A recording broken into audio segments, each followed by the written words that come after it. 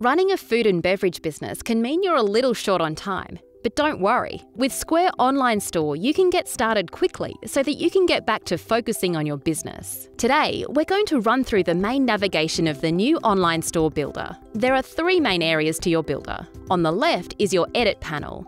Then to the right, you have a live preview of how the site looks, and you can also make edits to your text. At the top, you have the toolbar that lets you switch between mobile and desktop view and add entirely new pages.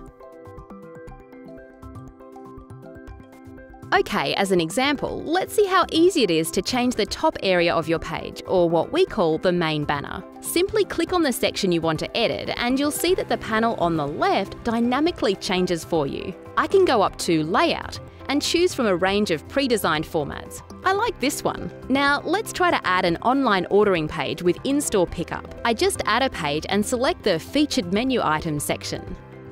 From here, I can add and edit my menu items which customers can order online and pick up in my restaurant. Next, let's add a section. Sections are blocks of content layouts that you can add and customize. I just go to the page sections and then hit Add Section. Now I can choose the flexible layout that I need. Let's add an Instagram section. Here on the left, I can already see that my Instagram account is already linked, but you can do this at any time by hitting Manage. I can make loads of customizations, like making sure my title is visible, adjusting the colours, spacing and sizing.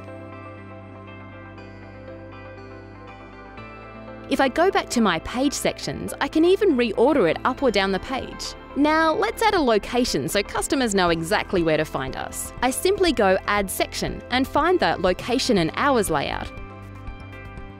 On the right hand side, I can adjust any text I need. And to add pick-up and dine-in locations, I just go to the left and hit Add or Edit Location Details. This will take me to a new tab. I just fill in the details and the map will auto-update with my listed location. Now, if you're running pop-up events, you can easily add a section for that too.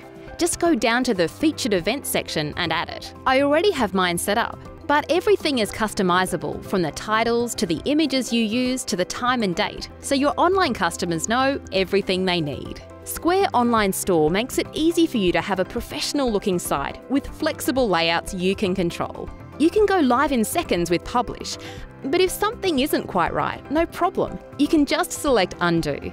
You can also hit Preview to view your changes before you publish. Use a few times and piece of cake.